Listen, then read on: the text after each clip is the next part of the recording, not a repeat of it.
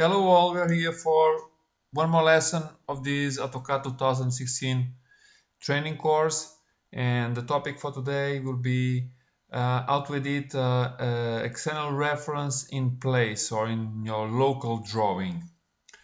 Uh, I've started with the drawing uh, we've used for our uh, last lesson regarding the external references and if you recognize this you can see that we still have the circle which is uh, an entity belonging to the current drawing sir and we have this rectangle that is inserted here as an external reference.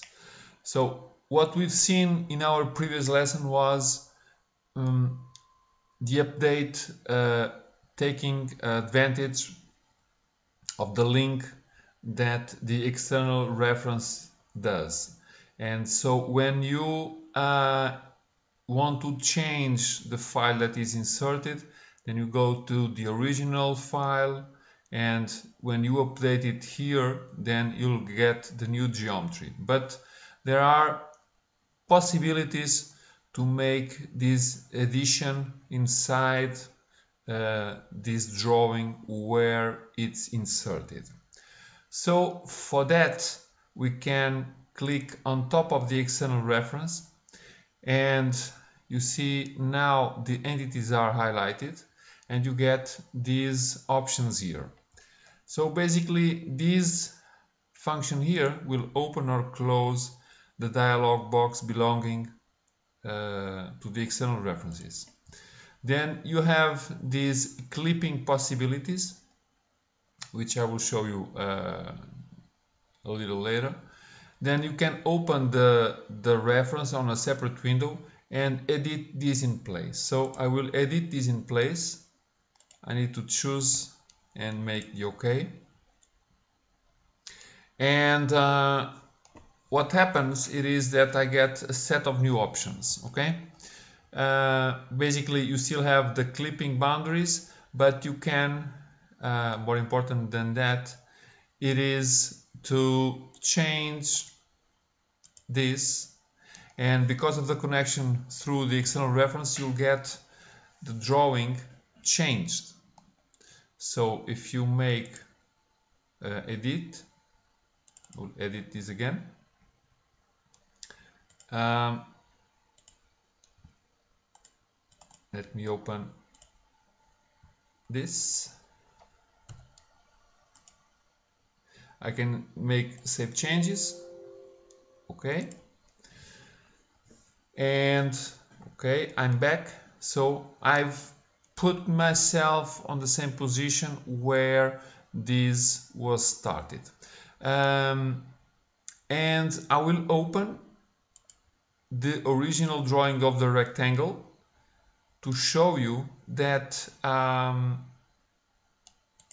this is changed so rec open and the original drawing that uh, was inserted uh, on this file was changed through this file okay? So uh, we have another possibility there which is create a clipping boundary or remove it. So we can create a boundary. We have a couple of options um,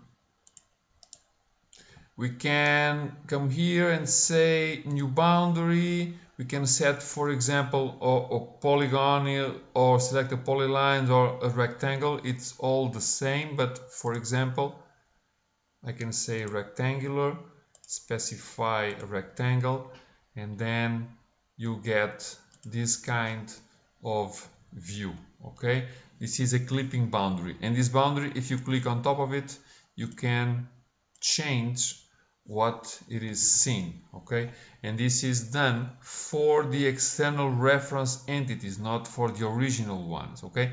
And you can for sure uh, at any moment say remove clipping and you can delete it and you'll get to the original status okay? So this is uh, important because this idea of making the addition of the of the external reference file uh, on the on the drawing where it is inserted it is very important because show you show you a different possibility to edit the drawing and uh, show you that this connection uh, through the external reference is done through um, both directions either the external reference original file or the file where it was inserted. So I hope this was clear and I hope that um, this example was um, easy enough so that you can use this in your uh, drawings